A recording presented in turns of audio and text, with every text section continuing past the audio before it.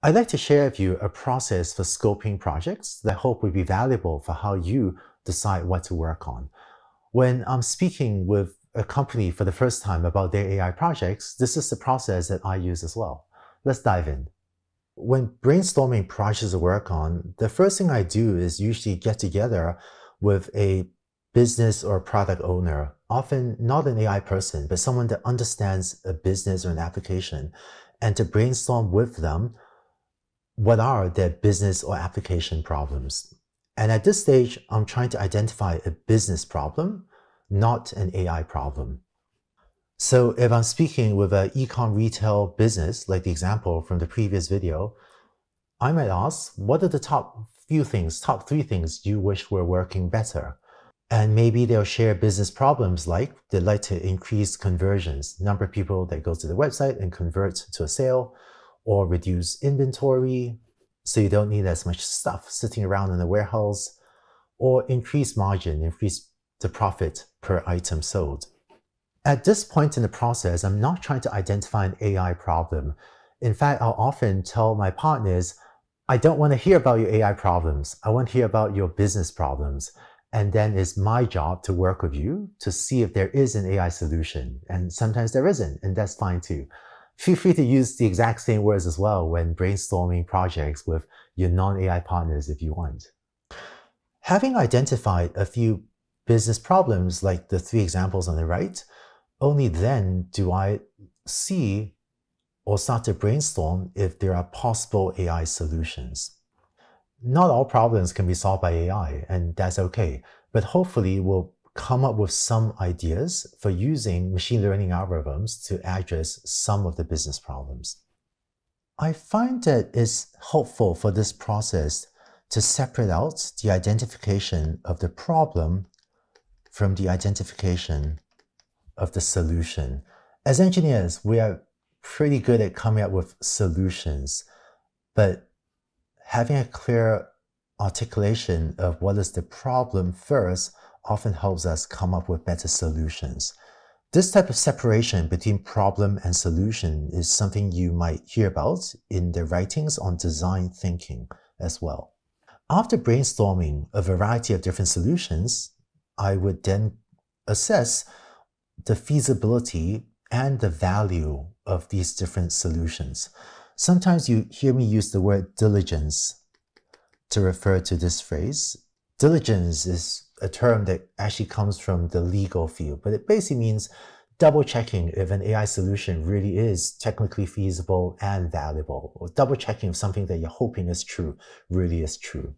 After validating technical feasibility and the value or ROI, return on investment of a given project, if it still looks promising, right? If it still looks promising, we then flesh out the milestones for the project, and finally, budget for resources. Let's take a deeper look at this process of identifying problems and solutions. And we'll use these three examples from ecom.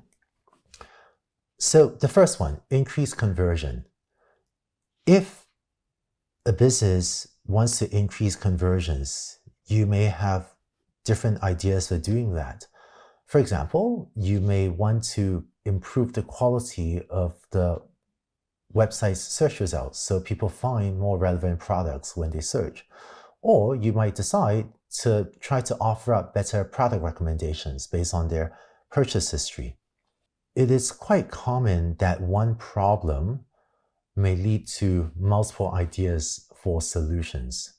And you may be able to brainstorm other ideas as well, such as maybe a redesign of how products are displayed on a page. Or you may find interesting ways to surface the most relevant product reviews to help users understand the product and thus hopefully purchase it. So there could be many ways to increase conversions. Take the next problem from the previous slide of reducing inventory. Maybe you will you could imagine a demand prediction project to better estimate how many people buy something from you so you don't purchase too many or too few and have more accurate inventory in your warehouses. Or you may decide to come up with a marketing campaign to drive sales for specifically the products that you bought too many of, so as to steer more purchases of stuff sitting in your warehouse. And that could also reduce inventory. And there could be many other ideas for solutions. Or for the problem of increasing margin, you may come up with some ways to use machine learning to optimize what to sell, what is worth selling and what is not worth selling. In ecom retail, sometimes this is called merchandising, just deciding what to sell.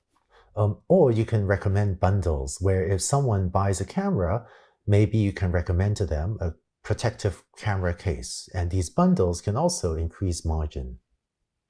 The problem identification is a step of thinking through what are the things you want to achieve. And solution identification is a process of thinking through how to achieve those objectives. One thing I still see too many teams do today is jump into the first project that they're excited about.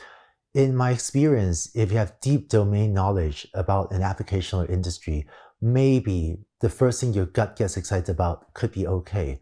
But even then, I find it worthwhile to first engage in divergent thinking, where you brainstorm a lot of possibilities to be followed by convergent thinking, where you then narrow it down to one or a small handful of the most promising projects to focus on.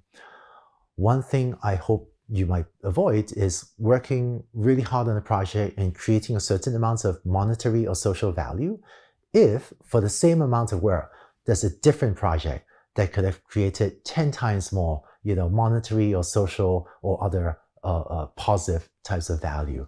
And I think this type of scoping process will help you to do that.